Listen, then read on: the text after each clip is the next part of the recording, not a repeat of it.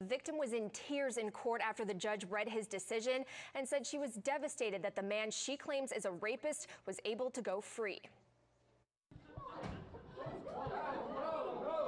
Tensions reaching a simmering point inside this Texas courthouse. After former fraternity president Jacob Anderson, who was accused of raping and choking a woman, walks free. Mr. Anderson, The victim claims that at a 2016 fraternity party at Baylor University, Anderson plied her with alcohol, sexually assaulted, and gagged her until she passed out, then left her unconscious outside. According to a family spokesman, the woman said in court, he stole my body, virginity, and power over my body. Monday, Judge Ralph Strother sparking outrage from that woman and her family as he accepted a plea bargain from Anderson.